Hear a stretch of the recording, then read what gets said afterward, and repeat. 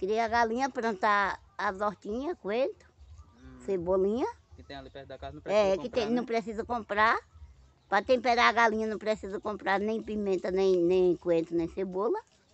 Para cozinhar a fava e o mangalô também não precisa, que já tem aqui na roça tudo. Pronto. É só catar e comer.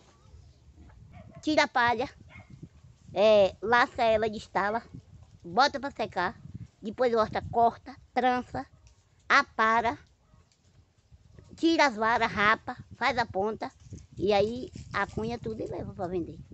Naquele tempo era muito barato, mas hoje é 10 real uma, Era quanto naquele tempo? uns 50 centavos ou, ou 10.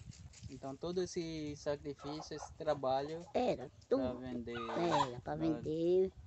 Para vender uma dúzia para comprar uma quarta de farinha.